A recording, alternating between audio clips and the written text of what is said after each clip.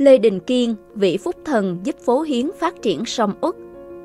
Vào thế kỷ 17, Phố Hiến trở thành một thương cảng sông Úc bậc nhất, giao thương khắp châu Á và châu Âu, mà người có công lao lớn giúp Phố Hiến phát triển đến đỉnh điểm là công thần Lê Đình Kiên. Xuất thân Thời Lê Trung Hưng đầu thế kỷ 17, ở làng Thiết Đinh, còn gọi là Thiết Đanh, nay thuộc xã Định Tường, huyện Yên Định, có hai vợ chồng rất nghèo khó, đến ruộng nương cũng không có, phải hàng ngày mò cua bắt ốc kiếm sống. Năm 1621, hai vợ chồng sinh được một bé trai đặt tên là Lê Đình Kiên.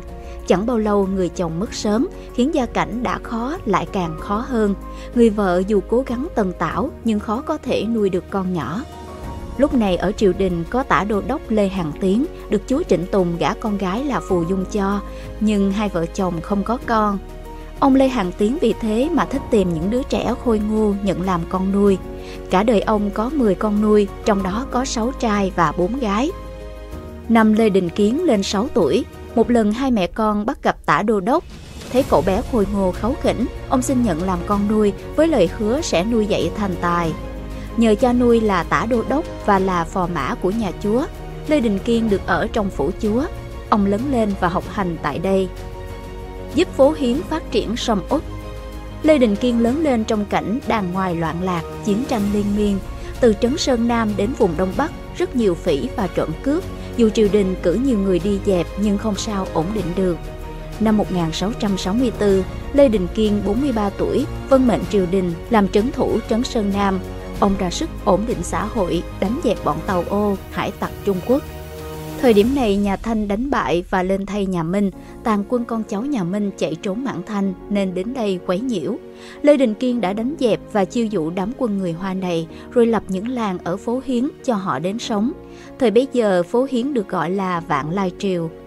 Trước khi Lê Đình Kiên đến làm trấn thủ trấn Sơn Nam, việc giao thương ở Vạn Lai Triều đã rất phát triển giao thương với cả Trung Quốc, Nhật Bản, Đông Nam Á và châu Âu. Triều đình không ứng phó kịp với mánh lưới độc quyền của thương nhân nước ngoài, các quan ở đây cũng tìm cách bưng bít kiếm lời.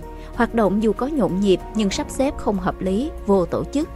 Khi Lê Đình Kiên đến đây đã sắp xếp lại có quy củ trật tự, khiến việc giao thương trở nên dễ dàng hơn rất nhiều.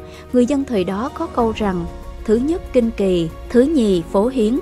Ông cũng giúp người nước ngoài được thuận tiện giao thương ở Vạn Lai Triều, Trước đây các lái buôn nước ngoài đến đều phải dừng ở bến Vân Đồn, nhưng từ Vân Đồn vào đất liền khó khăn, các thương nhân nước ngoài muốn xin được đi vào phía trong. Ông đã xin triều đình cho các thương nhân nước ngoài được đi vào đến tận Vạn Lai Triều để thuận tiện buôn bán. Từ đó các thương nhân Hà Lan, Anh, Pháp cũng đặt thêm các thương điếm ở đây. Lê Đình Kiên còn chiêu mộ dân chúng từ các trấn đến nơi đây mở mang sinh sống, khiến Vạn Lai Triều ngày càng phát triển. Ông cũng mang cấu trúc làng Thiết Đinh quê ông đến Hưng Yên. Ông cho xây dựng thêm các làng xã, chợ theo kiến trúc này. Sách An Nam Ký Du của Phạm Bỉnh Khuê có ghi chép rằng ở đây dừng lại tất cả thuyền bè nước ngoài từ bốn phương đến buôn bán với đằng ngoài. Các quan chức được đặt ở đây và có cả một đồn lính. Ở đây có những phố buôn bán, chừng 10 phố gọi là phố Thiên Triều. Vạn Lai Triều phát triển văn minh chẳng khác nào kinh đô, Khu phố Bắc Hòa mở rộng thành ba phố Thượng, Trung, Hạ. Người dân nơi đây truyền tụng rằng Bến nể độ gió nâng thuyền gấm, phố Bắc Hòa nguyệt ngắm rèm the, thú đô hội trong ngoài chẳng thiếu, vạn lai triều là tiểu kinh đô. Lê Đình Kiên giúp cuộc sống người dân Hưng Yên được yên ổn sung túc, giữ yên vùng Sơn Nam. Ông thay mặt Chúa giao tiếp với các thương nhân nước ngoài, giúp họ yên tâm buôn bán, ông được triều đình phong làm đặc tiền phủ quốc thượng tướng quân, hữu đô đốc thiếu bảo, tước quận công. Tưởng nhớ Lê Đình Kiên mất năm 1704, thọ 83 tuổi, được truy tặng Thái Bảo, truy phong là Phúc Thần, gia phong là Dực Bảo Trung Hưng Đại Vương. Cuốn Đại Việt Sử Ký Toàn Thư có ghi chép rằng, mùa xuân tháng 2, trấn thủ Sơn Nam, thiếu bảo quận công Lê Đình Kiên mất. Đình Kiên làm nội thị trong cung cấm, nhiều lần theo chúa Trịnh đi chinh phạt có công lao ở Trấn Sơn Nam trước sau đến 40 năm. Ông làm việc chính sự, chuộng nghiêm khắc, cứng rắn, vì vậy trộm cướp nằm im không dám hoạt động. Kiên nổi tiếng về cai trị. Đến đây chết, 82 tuổi, truy tặng Thái Bảo, truy phong là Phúc Thần.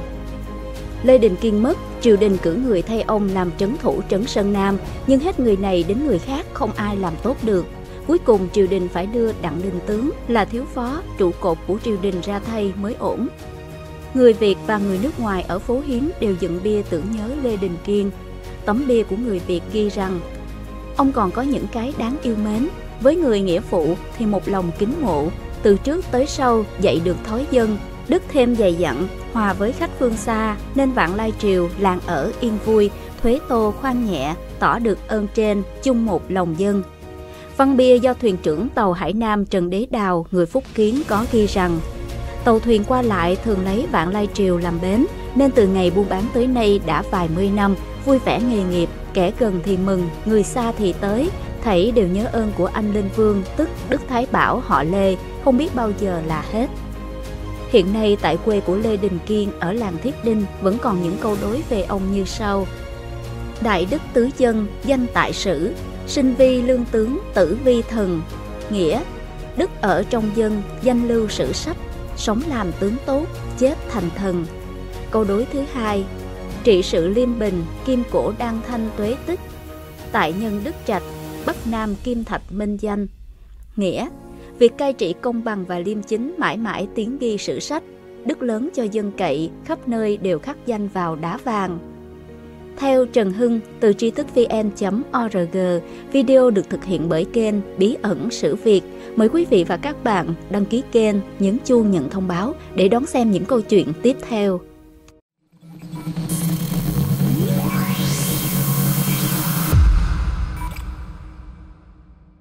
Lịch sử bao giờ cũng ẩn chứa những bí mật, những sự thật mà không phải ai cũng có thể hiểu hết được. Hãy cùng lắng nghe những bản hùng ca bi tráng, những câu chuyện lịch sử chưa từng kể, cùng bí ẩn sự Việt khám phá những bí ẩn để suy nghĩ sâu sắc hơn về lịch sử và thêm phần vun đắp niềm tự hào dân tộc. Đăng ký kênh Bí ẩn sự Việt để đón xem clip mỗi tuần